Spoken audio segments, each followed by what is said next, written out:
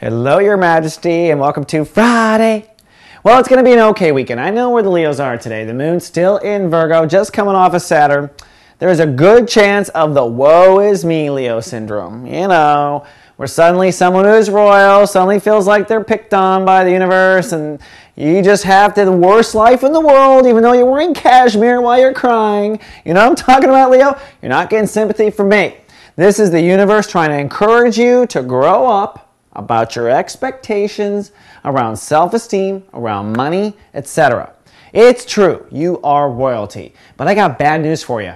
If you've incarnated as a Leo, you have incarnated with the past memory of being royalty, but most likely are not.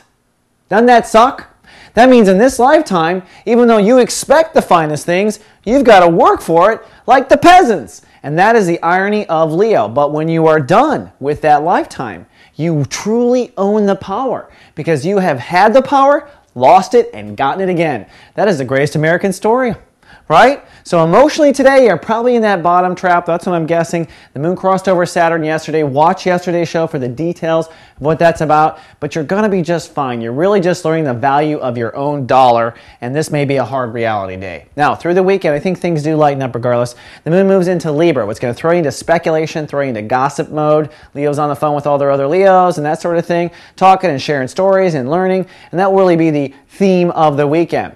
And it's likely that the topic deals with marriages or being alone. I can easily see a Leo in a marriage kind of using the marriage as a way to look at the self esteem issue. And I can easily see a Leo who's not in a marriage using the fact that they're single, throwing it back on the self esteem issue. It's really about both. With the sun in the first chapter of Aquarius, you are identifying what you're incorrect about nowadays when it comes to marriage. Remember, you just upgraded to Leo 2.0, so you gotta upgrade the idea of marriage too. And for the next few days, you're only gonna see what's not good about it, and that's okay. That's what the universe wants you to do. Take notes and keep going.